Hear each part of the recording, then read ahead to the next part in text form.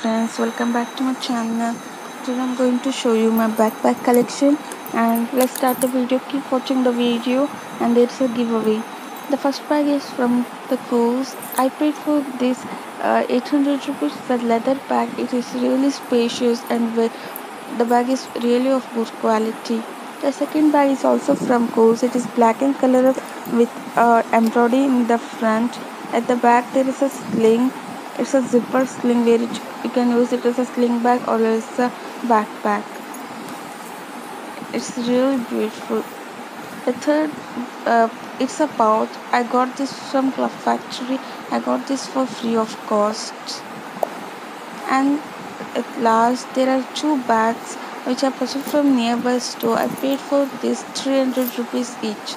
And the last not the least is a giveaway bag which I purchased from AliExpress. I paid for this 350 rupees and it took one month to reach me.